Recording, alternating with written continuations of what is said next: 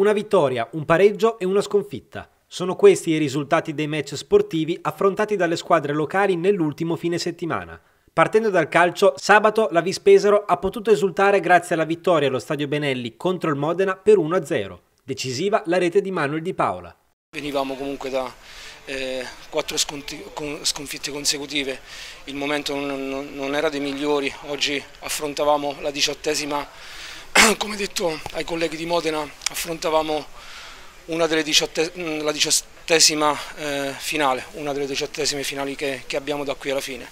Quindi siamo molto contenti, io eh, veramente sento di fare i complimenti alla squadra e all'allenatore perché comunque hanno fatto una prova di grande carattere eh, in una settimana comunque dove non era semplice lavorare, eh, vuoi per eh, il calciomercato, vuoi per eh, la situazione comunque dove ci siamo trovati, non ne siamo usciti, siamo con i piedi per terra, ripeto oggi abbiamo affrontato la seconda squadra in classifica e penso che comunque i ragazzi hanno dimostrato veramente una prova di grande carattere e, e siamo riusciti a perforare um, la miglior difesa del campionato e siamo riusciti a non subire gol.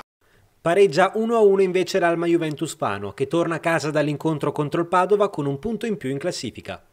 Una partita molto difficile per noi, Eravamo passati in vantaggio, è chiaro, poi la qualità del Padova si è fatta anche sentire in campo, però credo che i ragazzi anche oggi abbiano fatto una grande prestazione e quindi niente, il percorso è questo, dobbiamo continuare su questa strada. Bene davanti Ferrara che ha servito un bellissimo assist a Barbuti.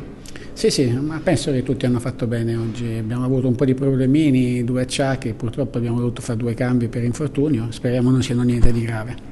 Spazio anche al basket e alla Carpegna Prosciutto Pesaro, che dopo aver lottato per 40 minuti, nel posticipo della diciottesima giornata di Serie A non riesce a conquistare i due punti della vittoria. Il match della Vitrifrigo Arena va alla Umana Reyer Venezia, con il risultato finale di 65 a 78. Loro, loro sono molto più freschi rispetto all'inizio dell'anno perché senza coppe, eh, con panchina molto lunga, eh, possono giocare con una intensità straordinaria eh, tutti i 40 minuti ma non possono essere scuse questo perché onestamente io non sono stato soddisfatto come abbiamo fatto primo tempo siamo stati più due facendo tantissimi errori.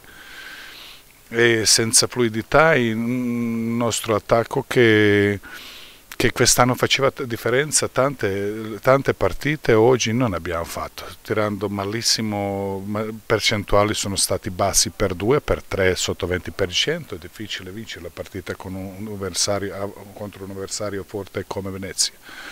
Eh, 60-50 cosa è successo? Abbiamo subito eh, in un break loro in non lo so 10-0 in un minuto Beh, onestamente là eh, siamo fermati completamente, non solo in difesa, in attacco uguale, non girava la pala, eh, tiri aperti eh, non sono andati dentro e dopo qualche forzatura eh, come, come insolito quando non va tiro da tre e tutto è andato male. Mm, posso solo fare complimenti loro per, per la vittoria e tutto, tutto è qua. A livello regionale invece grande gioia per la Lube Volley. La squadra di Civitanova ha conquistato ieri la sua settima Coppa Italia, battendo il Perugia alla Unipol Arena di Casalecchio di Reno.